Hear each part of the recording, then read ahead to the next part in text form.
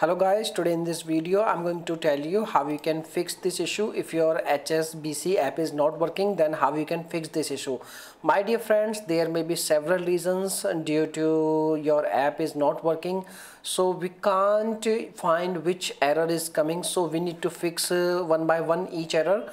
So these are the main causes of the you can say app is not working problems. So first is maybe your internet speed maybe new version of app or you can say cache overload or corruption corrupted app and apps is not connected with your mobile. Then how you can fix this issue? So first of all we are going to fix uh, the internet speed. So first of all before checking each and everything you need to check out your internet okay? So because of internet due to internet connectivity your app may be not working properly so you need to check your app internet connection. So if your internet speed is good hope this will fix your issue. If not uh, if your internet is good and still your app is not working then you need to change or you can say you need to update your app okay? So in this method you need to check out your uh, latest update of the apps. So in this method you need to open your app store or you can say you need to visit on your uh, app store and you need to find your application name. Like uh, over here you need to type your app name like this and once you type your in, in app name and you need to find your name.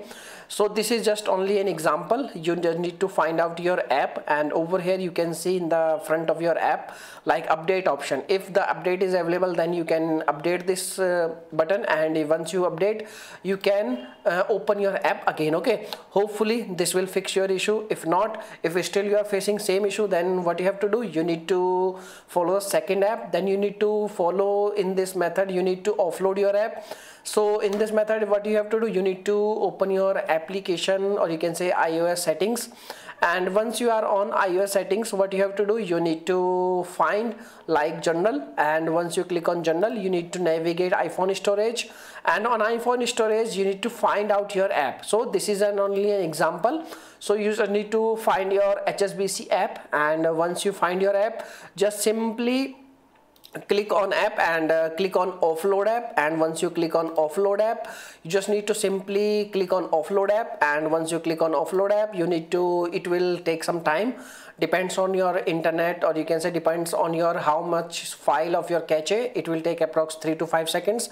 And once it will done it will pop up a new window like reinstall app. So you need to just reinstall your app. Now you will restart your app. Hopefully this will fix your issue. If still you are facing same issue then in this case you need to reinstall your app or you can say you need to completely remove your app or you need to reinstall your app again okay? So in this method you need to simply visit on the same screen like as you before gone and uh, once you are on this page offload app page you need to simply click on delete app. Once you click on delete app your app will be deleted and now you need to visit on your app, app store again and find your app and get it once again and once you get your app just simply open your app. Hopefully this will fix your issue right now okay? So if you're still facing same issue then what you have to do you need to check out your internet uh, or you can say mobile date and connectivity with your app. So in this method you need to check out your uh, uh, mobile application date and time okay? So you need to check out your uh, internet or you can say you need to check out your date and time. So make sure your time is correctly uh, uh, updated as uh, to the network connection.